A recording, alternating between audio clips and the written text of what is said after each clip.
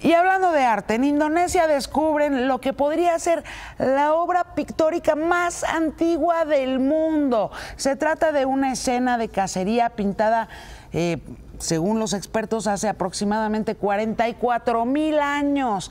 Fue hallada en una cueva en un acantilado de la isla de Celebes. En ella se observan ocho pequeñas figuras humanas rodeando a dos jabalíes y a cuatro búfalos. Qué maravilla, 44 mil años de antigüedad.